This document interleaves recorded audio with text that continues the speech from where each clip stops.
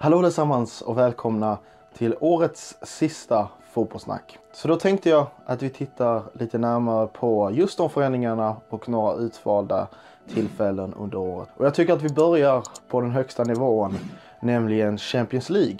Där Liverpool stod som segrare när säsongen i somras skulle avrundas. Och i och med det så bröt det den spanska dominansen som har eh, varit i Champions League. Där de senaste fem åren tidigare har alla haft en spansk segrare och endast då Real Madrid eller Barcelona. Så Liverpool satte stopp för det och måste ju ses som den stora vinnaren 2019 med en fantastisk eh, slutspurt i Premier League där de till slut då inte stod som segrare men lyckades vinna Champions League och sedan nu totalt dominerar i Premier League. Och om vi då tittar på lillebror Europa League så har vi ju sett då en förändring där de engelska lagen har valt att ta Europa League på lite större allvar. Vi såg det när United vann, men speciellt i år när det då var en helt engelsk final i Chelsea mot Arsenal. Där Chelsea då stod som segrare, där då Sarri tog revansch för en annars tung säsong.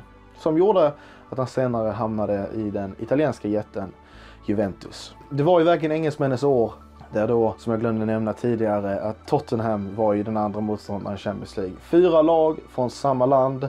Det är sällan vi har sett det i de där två Europafinalerna. Inte ens när Spaniens dominans har varit som störst har vi sett något sådant. Men på andra fronter går även fotbollen framåt och jag tänker ju speciellt på damfotbollen.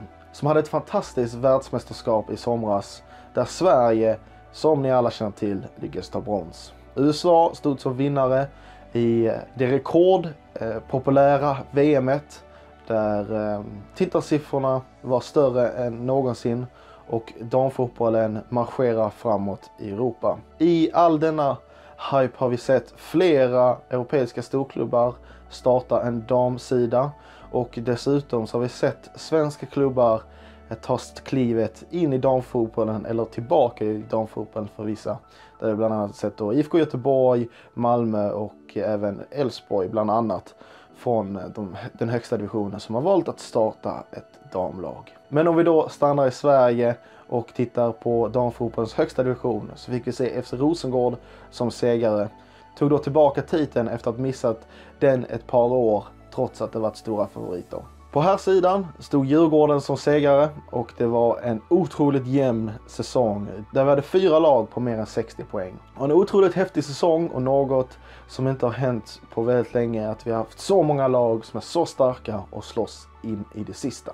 Men det är även en allsvensk säsong som har kantats av den pågående konflikt mellan polisen och fotbollen. Polisens hårdare tag med villkorstrappan har inneburit flera protester från de svenska läktarna. Det är en tvist som inte är löst och det är förmodligen en fråga vi kommer att behöva diskutera flera gånger under nästa år. Men om vi då blickar vidare till Malmö FF så för andra året i rad missade det allsvenska guldet. Ett underbetyg för dem själva såklart, men i Europa League lyckades dess bättre. Där tog det sig inte bara vidare till gruppspelet för andra året i rad utan även vidare till 16-delsfinal. Men det skulle ju förbättra sin insats från förra året när de faktiskt vann gruppen och blev första svenska lag att vinna en Europa League-grupp. Dessutom så lyckades de peta ner FC Köpenhamn från den nordiska tronen. Men om vi då blickar återigen ut mot Europa så ser vi att det blåser ändå lite med förändringsvindar även om det inte har skett hela vägen.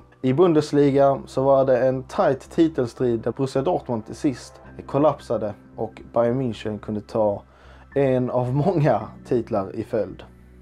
Men denna säsongen ser det ut att bli annorlunda efter sommaren där Bayern München har haft det tufft att etablera sig som det starkaste laget i Tyskland.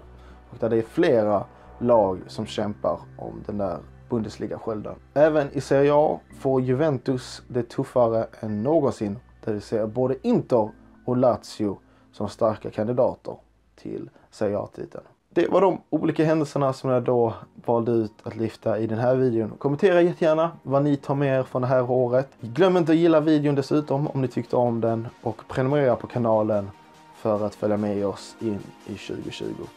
Tack så mycket för att ni tittade på den här videon och jag vill bara önska er ett gott nytt år.